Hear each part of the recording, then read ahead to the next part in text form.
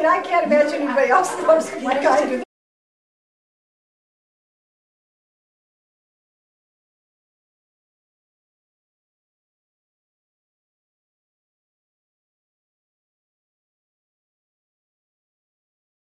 This one's a bill.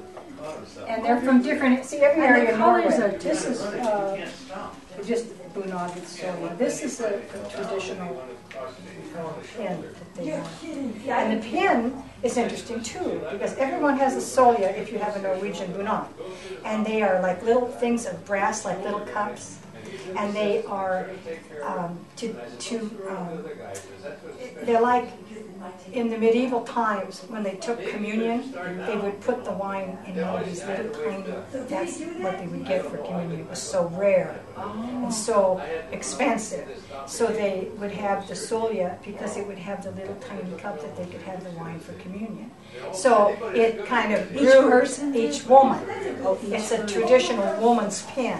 So you'll see on the women's, the, the gold thing is the solje, but it's only on the Norwegian. The Swedes won't have any part of it, so you don't want to put one on the Swedish lady.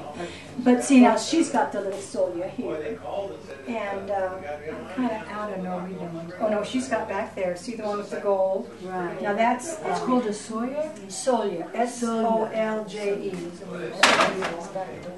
So, you know, the, the ethnic costumes are, are different and, and you know, if you're gonna give something away to somebody who's, who's one of these areas, you better damn well get it right. Yeah. And look at this one, this is, this is unusual. Now, those are What liquor bottles.